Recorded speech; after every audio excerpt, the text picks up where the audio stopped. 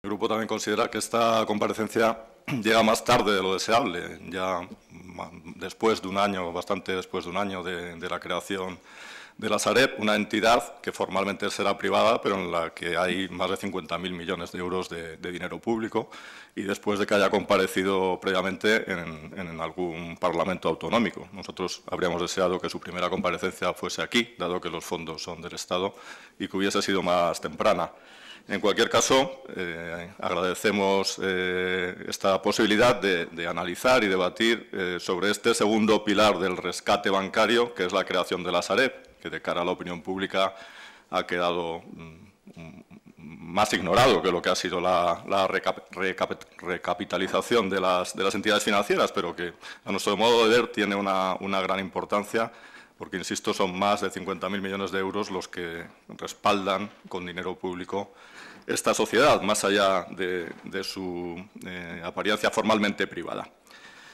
Aparte de noticias coyunturales o detalles en los que luego entraré, hay, dos temas de fondo, dos problemas estructurales, si queremos llamarlo así, que a mi grupo le preocupan respecto a, la Sareb. Lo primero es su, propia naturaleza de banco malo. Banco malo, esencialmente, consiste, como todo el mundo sabe a estas alturas, en que las entidades financieras con problemas, nacionalizadas, mm, cogen sus peores activos, los más dañados, y los transfieren a una sociedad pública. Es cierto que con un descuento, pero son los peores activos del balance. Y además se transfieren sin que se sepa muy bien lo que se está transfiriendo. Ha sido posteriormente, en este proceso de due diligence que usted nos ha explicado, cuando eh, se ha tenido una idea más clara de lo que allí había. Bien, con estas bases de partida, en que se transfieren los peores activos sin saber muy bien lo que hay, aunque tengan un descuento, lo que cabe esperar, el riesgo, es que eso acabe suponiendo unas pérdidas importantes para el contribuyente. Es cierto que de manera aplazada en el tiempo, a lo largo de, 15 años, pero si uno compra lo peor y no sabe muy bien exactamente lo que es, es difícil que ese riesgo eh, no se materialice, aunque vaya aflorando de forma diferida. En este sentido puede ser una forma de ganar tiempo, pero nos preocupa el, coste final que esto pueda tener para el contribuyente. Y en este ejercicio 2013 hemos tenido una primera muestra. Eh, la Sareb ha tenido unas pérdidas de 261 millones de euros que quintuplican lo que estaba previsto en el plan de negocios revisado. Nos preocupa, insisto, eh, que este coste para el contribuyente se vaya sumando al otro coste que ya se está produciendo por la vía de, la recapitalización y los 43.000 millones que Eurostat ya da por perdidos por, esa vía. El segundo problema de fondo, el segundo problema estructural que nos preocupa es eh, cómo se ha diseñado en concreto este banco malo, eh, porque el balance es de unos 55.000 millones de euros y los recursos que están detrás de ese balance son casi todos públicos, son en un 95% públicos. Hay 50.000 millones de euros de deuda avalada por el Estado y el 45% del pequeño capital, algo más, algo más de 2.000 millones de euros, unos 52.000 millones de euros de los 55 son públicos. Una pequeña parte en forma de capital, el 45%, otra inmensa parte en forma de deuda avalada por el Estado. Los recursos privados, aunque supongan el 55% de ese pequeño capital, no llegan a los 3.000 millones de euros entendemos que la finalidad de este diseño es que esa deuda no compute como pública, pero esa ventaja lleva aparejadas importantes inconvenientes. Y el primero más evidente es que, siendo los recursos públicos, el control está en manos privadas. Los accionistas privados, que han puesto una pequeña parte de los recursos, tienen el control de esa sociedad.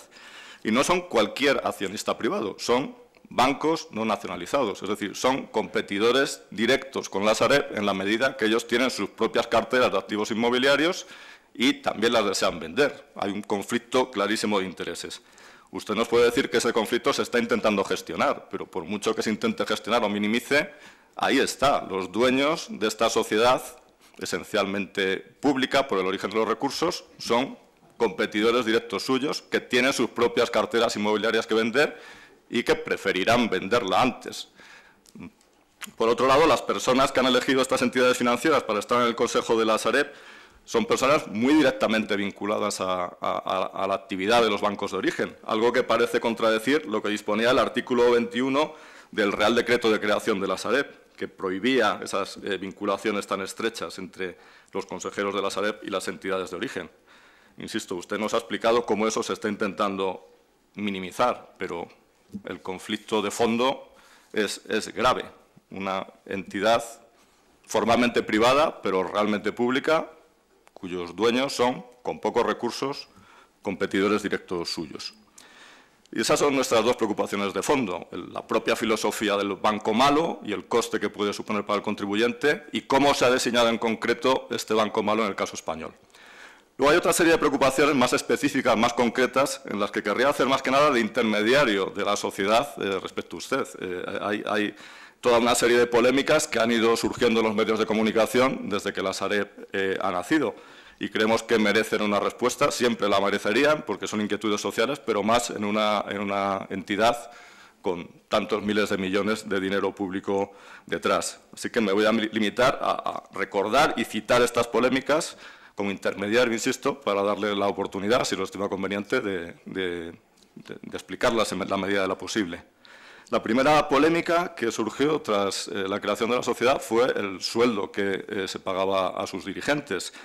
Eh, existe un tope de medio millón de euros anuales, que no es el de un banco nacionalizado, sino el de un banco con ayuda pública, y por las informaciones que han aparecido, parece que, buena parte de los sueldos de los altos dirigentes se ha acercado a ese límite máximo de medio millón de euros, y esto ha generado cierta polémica social, porque, insisto, aunque es una sociedad formalmente privada, esencialmente es pública por el origen de sus recursos. Esto es así, eh, son sueldos razonables, eh, son sueldos que están en una gama excesivamente alta, teniendo en cuenta el tipo de, sociedad de que estamos hablando.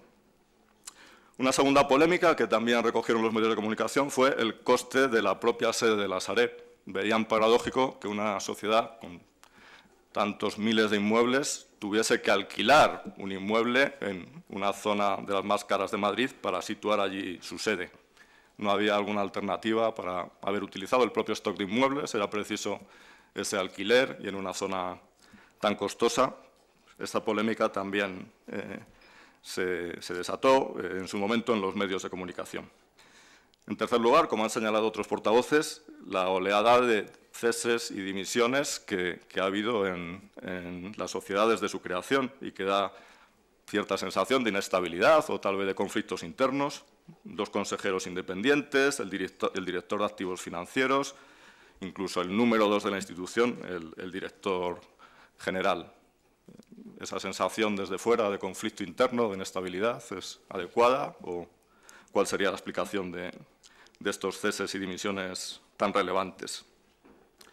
Un cuarto asunto que también ha generado polémica tiene que ver con las subcontrataciones externas, eh, la externalización de actividades tan numerosas en el año 2013 eh,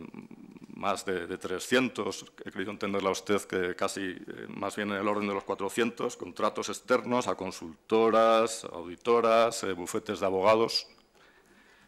con el coste que esto también conlleva.